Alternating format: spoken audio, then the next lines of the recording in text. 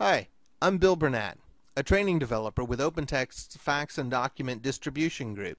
In this video, I'll explain the key concepts underpinning OpenText Fax Server RightFax Edition's Shared Services module.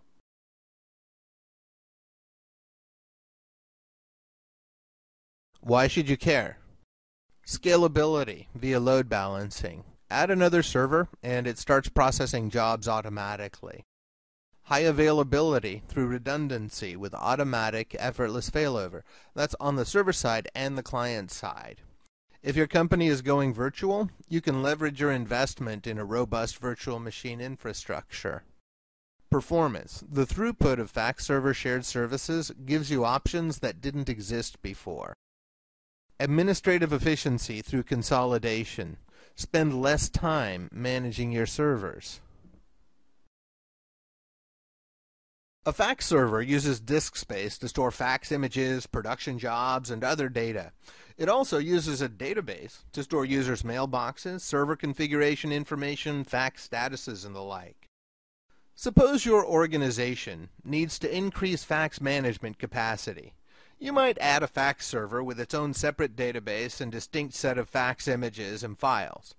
This works well in many environments, especially when the fax servers communicate across the enterprise with features such as fax servers' intelligent least cost routing.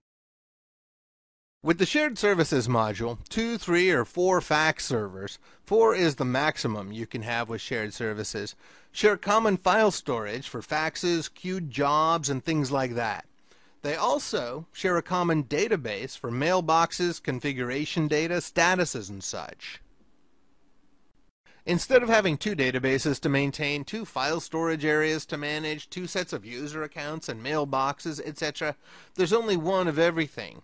That's how the Shared Services module greatly simplifies system administration.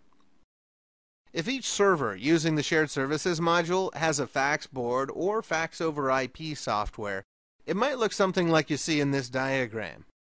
Because both servers are picking up jobs from shared work queues, they load balance evenly without special configuration.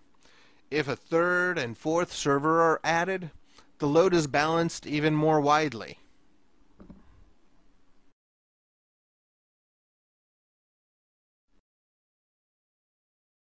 With this architecture, redundancy is pretty much effortless.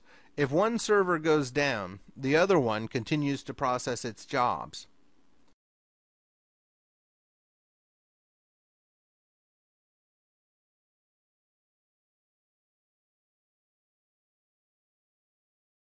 It is sometimes advantageous not to install fax boards or fax over IP software directly onto a fax server. Instead, deploying them on a remote DocTransport server. A remote DocTransport server pulls fax images from the fax server to transmit, and it gives the fax server the faxes it receives. The Shared Services module fully supports remote DocTransport configurations.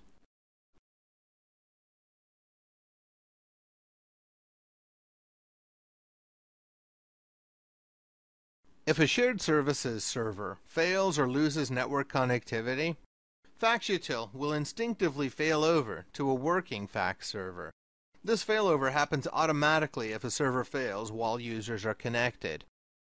FaxUtil failover also works when an unconnected user attempts to log in. If the initial target server is not available, FaxUtil will try the others on its own.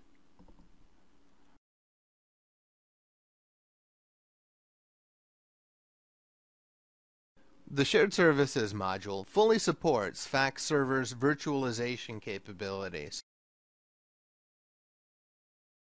both with FOIP software and with physical fax boards via remote DocTransport. A shared services module installation is remarkably resilient, continuing to manage faxes in the face of outages of nearly every component. A system can lose servers and fax boards and remote DocTransports and continue uninterrupted pretty much forever, albeit at a reduced capacity.